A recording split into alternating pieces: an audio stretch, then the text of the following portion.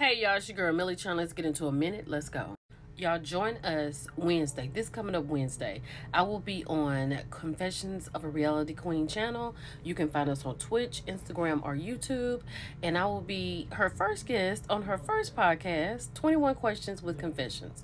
I'm so excited. I'll remind you about it, but I'm really excited about this condolences goes out to Nicole Murphy. Her boyfriend, uh, Warren Braithwaite, has since passed away with cancer. Um, I don't know how long they were together, but hold on. I think this was awesome that they were close with her ex-husband and things like that. But there's something that's real crazy. Hold on. Why is Nicole over here liking Simon's photo? Ma'am, you are in mourning. You shouldn't even be on the internet. Simon just posted this photo like yesterday when we found out about her boyfriend. What is going on? And then this is in Simon's story. For those who have made wellness pit stops in my DM, thank you. Who is dropping in Simon's DMs? Like the man may be deported. Is there no shame? Let's keep going.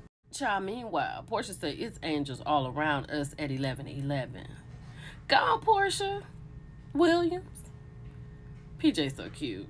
Let's keep going. So for my trader people, they are getting ready to do the reunion for Traitors. All of the people are together. Look at all the Bravo ladies with Andy because Andy will be hosting it. I'm so excited. Phaedra did great, but I'm really disappointed. I feel like she gave up, but I can't wait to hear this reunion. I can't wait. Child for part 51, Reesa Teesa is going to be on Good Morning America Monday. I'm so excited about this. I got to call my mom and let her know. I got to call my mom. Child, I ran across this over on TikTok. Off of Reesa onto Legion.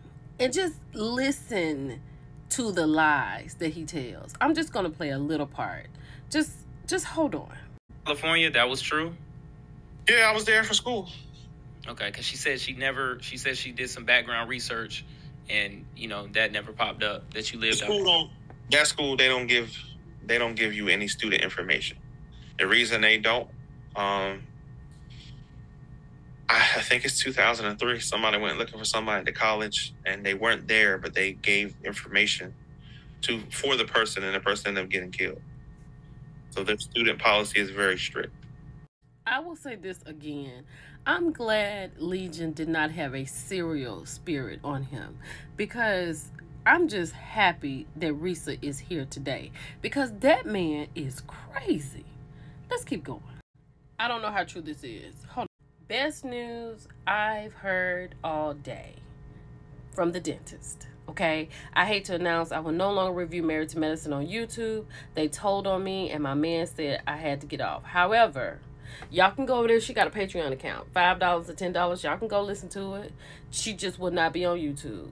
Thank you jesus for small favors. Let's keep going so lastly, if you want to hear this full interview from Mark Curry, he is a former bad boy artist. You can go to College Kid on X, right? But what he's talking about is allegedly Diddy had paid Shyne a million dollars for doing a 10-year bid for him. When they had that situation in 1999 in the nightclub where he did this action at a man throwing money in Puffy's face and you remember that's when Puffy and J-Lo were together and shortly after this, J-Lo quit Puffy. Honestly, I know it's alleged because I was not there. But with everything that we are hearing about Puff, this seems right on tax for him to have somebody to do something to someone if they threw something at him. This just doesn't, this seems like the mildest thing that he could do. What do you all think about this? Let's talk about it. It's your girl Millichun. I'll talk to y'all later. Bye.